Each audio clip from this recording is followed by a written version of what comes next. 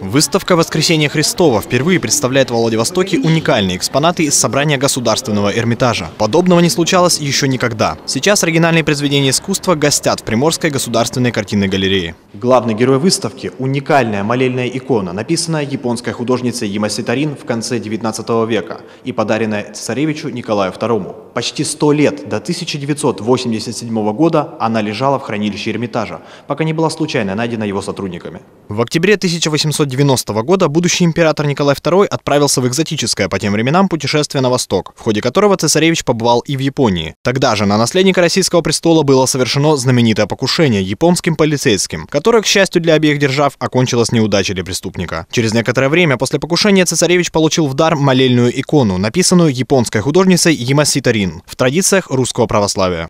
Ямаси Тарин Э, интереснейшая художница, иконописица эпохи Мэйдзи. Э, она не раз уже представлялась, ее творчество представлялось в Японии. И нам важно, что икона, которая выставляется во Владивостоке, в Приморской государственной картинной галерее, она интересна в регионе.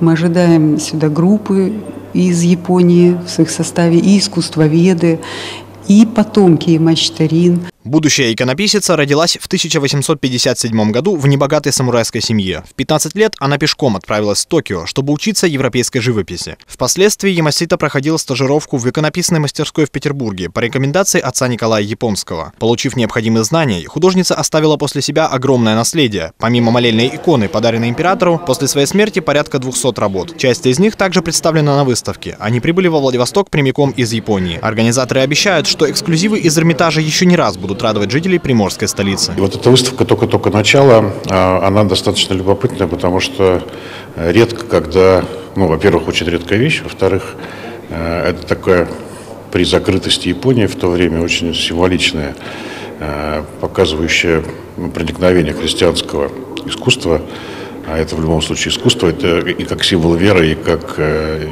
памятник искусства и культуры. Совсем недавно искусствоведы провели совещание в рамках выставки. В задачах открытие Центра государственного Эрмитажа на Дальнем Востоке, к слову, единственного в своем роде. О конкретных датах пока говорить рано. На данный момент оригинальные шедевры планируется демонстрировать с 2018 года по два раза в год. Евгений Черемухин, Игорь Болтов. Новости на восьмом.